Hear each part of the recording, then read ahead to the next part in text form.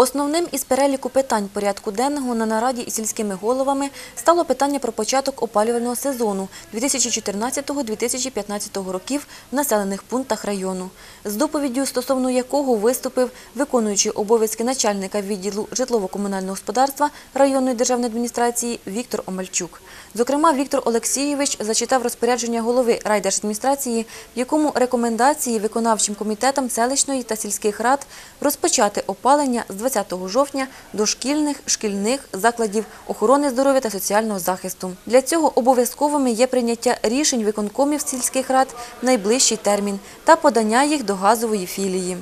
В обговоренні цього питання активну участь взяв начальник Ставищенської виробничо-експлуатаційної дільниці Таращанської філії з експлуатації газового господарства ВАТ «Київоблгаз» Володимир Левченко, який акцентував увагу сільських очільників на тому, що одного рішення для початку опалення замало.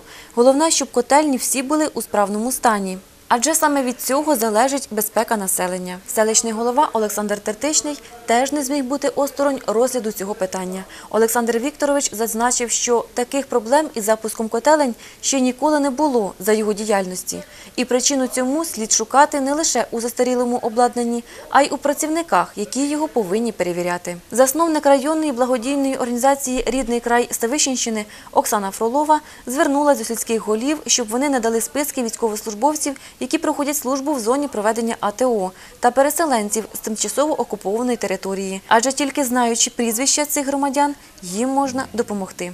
Наступні два питання стосувались підготовки до проведення позачергових виборів народних депутатів України 26 жовтня 2014 року. Голова районної державної адміністрації Віталій Волошкевич висловив прохання до очільників сіл голови Київської обласної державної адміністрації Володимира Шандри і своє також, щоб вибори у Ставищенському районі відбулися без порушень і на належному рівні. Ситуація, ви всі знаєте, яка, тому голови сільських рад насамперед до вас звертаються, щоб не було на місцях ніяких каруселей, в лапках так називаємо, і інших питань. Ми, люди державні, представляємо державу, ми повинні не лобіювати питання ні того чи іншого кандидата. Це повинно проходити в рамках чинного, я ще раз наголошую, законодавства. Тобто, якщо в суботу не повинно бути агітматеріал, значить їх не повинно бути. Якщо будуть вони, значить відповідно є представники правоохоронних органів, будуть складатися протоколи і буде відповідне реагування. Доповнила виступ Віталія Андрійовича керівник апарату райдержадміністрації Тетяна Шалієвська, яка звернула увагу всіх присутніх на те, що наглядна агітація закінчується 24 жовтня опівночі.